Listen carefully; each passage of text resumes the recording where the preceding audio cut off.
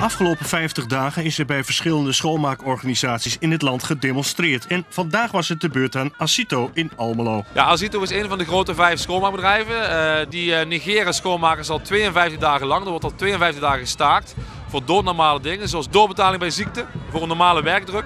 Hallo! Hoe is het om te werken in de schoonmaakbranche? Uh, zwaar omdat er geen respect wordt getoond. Wij doen wel het werk, maar uh, we krijgen geen respect. En als er iemand ziek is of vrij is, dan moeten wij gewoon, gewoon maar doen zonder iets te krijgen.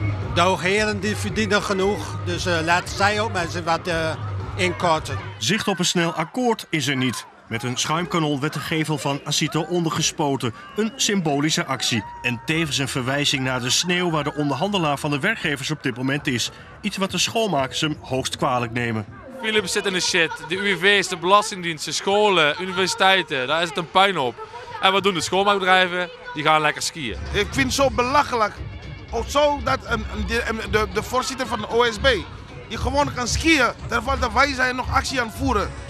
Dat is gewoon respectloos. Een van de directeuren van Asito kreeg daarom een paar skis aangeboden. Na de schuimactie trokken de demonstranten in een mars van respect naar het centrum van Almelo.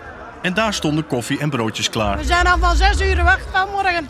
Vanuit uh, het Zeeland. Uit Terneuzen.